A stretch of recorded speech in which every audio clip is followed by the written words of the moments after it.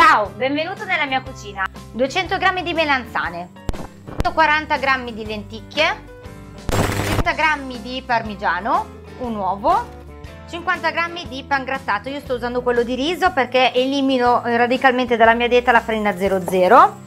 A scelta il della cipolla io sto usando il porro e l'aglio per il soffritto iniziale e a scelta potete mettere noce, la noce moscata e il pepe nero perché non metto il sale. 15 grammi giusto per il soffritto di olio. Io come al solito uso il mio fantastico robot multiuso. Iniziamo a preparare un po' di soffritto, un cucchiaio solo di olio extravergine d'oliva. Poi non ho bambini quindi posso mettere l'aglio che è a scelta e metto il porro a posto della cipolla e lo faccio soffriggere per un po'. Da solo il mio robottino Monsieur Così andrà a rosolare per 3 minuti a 100 gradi. Chi non avesse questo naturalmente ehm, prodotto può tranquillamente usare una padella. Nelle mie ricette non metto mai del sale, al massimo mi aiuto un po' col parmigiano. Nelle lenticchie che magari il sale viene utilizzato per il mantenimento, le vado a risciacquare un po'. Una volta tolto l'aglio, aggiungo le lenticchie e le melanzane. Le melanzane sono già state passate eh, qualche minuto in forno oppure le potete fare al vapore. Vado a tritare tutto, quindi melanzane e lenticchie.